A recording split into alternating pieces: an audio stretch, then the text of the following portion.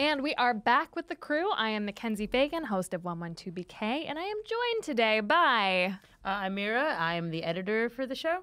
And I'm Shireen Bari, and I'm one of the producers of the show. We have a special slim down the crew today, you guys. We're going to be talking about Kyle Kashuv. This is the uh, Parkland High student whose offer to Harvard was just rescinded because he said some very racist shit. Right, I heard about this. Um, so apparently he got accepted into Harvard, and we should note that he's like a conservative student, right? So post shootings, he was still pro gun rights, and he was like, the shootings could have been prevented if the teachers were armed. So he's sort of this like conservative poster boy.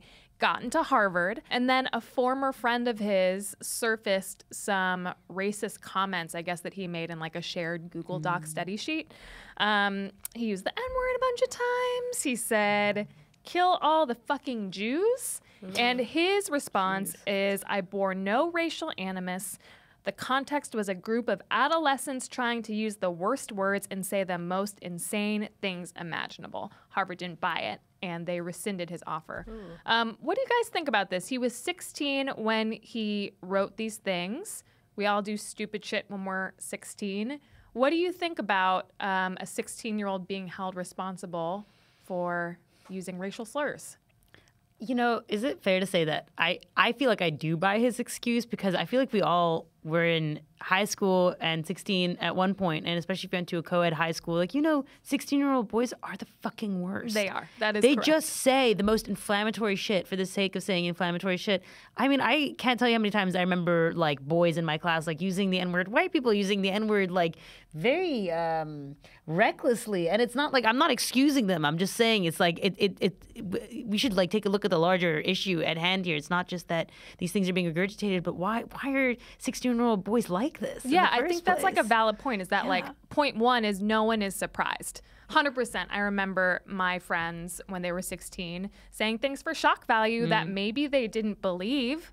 I don't know if Kyle Kashuv believes that all of the fucking Jews should die, but he said it. He's Jewish. Does that complicate things for you a little bit? I mean, I mean, again, I don't know. He says that he bore no racial animus. I am inclined to believe that you can say something racist without bearing racial animus. True. But the point that we want to talk about is does Harvard then um, accept that explanation and still accept him? What do you think, Shireen? I think like well a lot well when he publicized this whole thing, he also pointed to Harvard's own very racist past, and there's there are many students of color who can attest to this, who can who can talk about their experiences um, with racism. So that brings up the you know the question that how come Harvard like at what point what do you have to do to redeem yourself? You know, um, Harvard everyone seemed to like forgive, then still it's like this elite institution that everyone's dying to get into, and yet like here's a guy who, you know, who says that he went he he he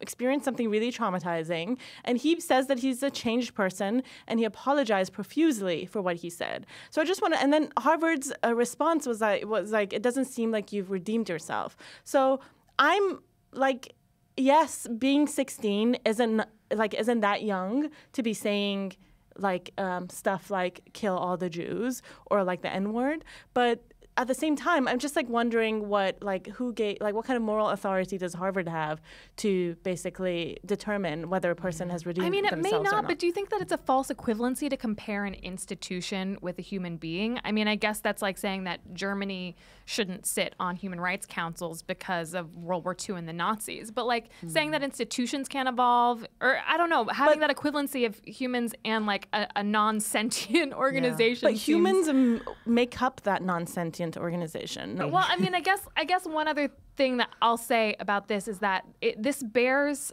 echoes of the whole affirmative action debate, right? Yeah. Where it's like people are like, well, I'm specifically thinking about the lawsuit that the Chinese American students um, took against Harvard, saying that they should have been allowed in because they had high test scores and like did everything right, basically. Mm. And it's like, uh, how are you under the illusion that college admissions is some like objective set of criteria? It's always been unfair. It always will be unfair. If you're a legacy student, you're going to get in. You know, mm. it, it, it favors it favors certain people, and there is some formula, some unfair formula that is applied by admissions people. And mm-hmm. so it- you attend Harvard at their discretion. You serve Yeah. at their pleasure. Right. So I guess the idea that anyone deserves to go to Harvard, uh, or like that it's unfair is like no shit, it's unfair. My concern is you're gonna call this person out. You're gonna call Kyle out, and he's gonna grow up, and he's gonna come. He's gonna become a bitter Exactly. man, a bitter Yeah. white Republican, probably more than like extremely conservative man. And th- like, do we need? And you're just gonna alienate him, and you're just gonna make him mad. And I'm not saying you have to like appease him and just let him in, but he's gonna get called out anyways once he gets to college. But is there a chance Like- that this is a moment of transformation for him? I don't know. Maybe this is extreme. No, absolutely not. I This think- You don't think gonna- that no, this is gonna maybe go the the only way This is that a he learns his conservative lesson? stu- He's gonna he's gonna feel vindicated. He's gonna feel vindicated. He's gonna feel even more s- angry. Well, what's he the alternative? You tell a 16 year old kid it's fine to say the N word, to call your peer in high school the N word, and you can still get into Harvard. No, then what message is Harvard sending to all of the other admitted students of color? Saying, you know, what Harvard basically said was, you know, we're not going to comment on this case, but we do rescind in cases where the moral character hmm. and judgment of students is called into question. And I guess what message does it send if you are a black student who got into Harvard and Harvard, like, I don't know. Harvard bought it. Harvard said, it's okay. Mm. We're going to excuse your behavior when you were 16. I'm not without empathy for him because, like, I was a stupid 16 year old who did stupid Yeah. things. Right. I was just fortunate enough to live in a pre digital era where I didn't ruin the rest of my life. I just, like, ruined my parents' life for a year. You know what I mean? I've actually taken it upon myself in the last like two years to, to to thoroughly like disengage myself from a lot of these platforms. So I no longer have a Facebook. Um, I have like a Finsta, my Twitter. I'm trying to be so much more conscientious about how I use it because no, I, I I've become re- really acutely aware of like how this can appear to maybe future employers or like yeah potential potential employers um i've known people to have like job opportunities rescinded for them because of shit they said on the internet like now Absolutely. I mean, it's scary. I, at this point, it's just beyond just racist comments. Like, cause like, okay, I, I don't believe like I first of all know I'm not a fucking racist, and also. My, issue with what I've said in the past that I've had to take down isn't because it's racist. It's just because it's like reflective of me at a time that, like, okay, when the whole Brett Kavanaugh thing happened, I remember I was being really, I was really, I was obviously really upset, and I said some extremely inflammatory things on Twitter. And I looked back like two weeks later, I was like, I can't say this shit. Like, But no one's gonna maybe- fucking hire me if they see this. Okay, Like- well, I think that there's a difference between inflammatory and racist, and maybe that's Right, what brings us back to Kyle, right? Is that you may express something that is a more extreme version of what you currently think, but if you are on record as saying the N word, I don't know. Like that to me. Yeah, that that's means like you a don't go big to Harvard. no-no. I don't know. but the other thing that I want to ask you, Shireen, is you know, on the flip side, as progressives, we're like, what's up with all these 16 year olds who commit tr- crimes being tried as adults, right? We see this a lot with like young men of color who are brought in for, you know, a robbery or whatever. And it's Mm-hmm. like, oh, we're going to throw the book at them. They're 16. They're old enough to stand trial. What do you think about, like, what is the age of responsibility as an adult?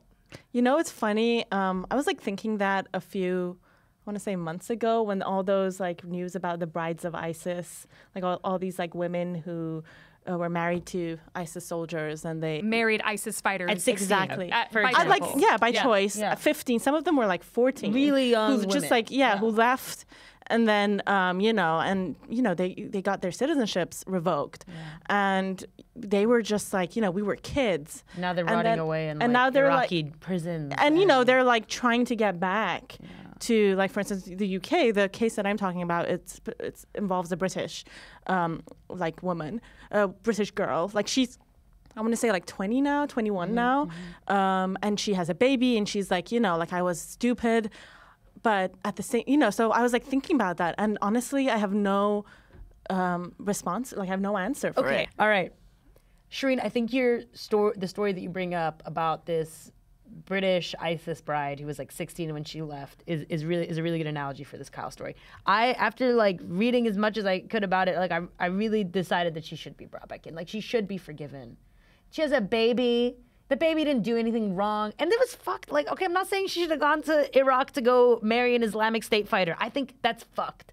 Okay. And, but it's like, what are you going to do? Just leave her out there? And so if I can forgive her, can I forgive him? I don't know. I think But maybe we can like, forgive him, but like we're not talking about citizenship. We're talking about Right. Harvard, like Okay, the it's ultimate privilege of privilege. You know what I mean? Right. So like, yes, can he crawl his way back into society? Absolutely. But does he deserve a place at the most selective school in the United States, a place that could go to a student of color or somebody who just has never called someone the N word? yeah. But- I'm asking you this, Mackenzie. Ask just Shireen. imagine, just imagine Kyle. Yes, Okay? okay. A Harvard, like you too, Mira. Yeah, Imagine a Harvard graduated Kyle and uh, like a, I don't know, like rejected Kyle.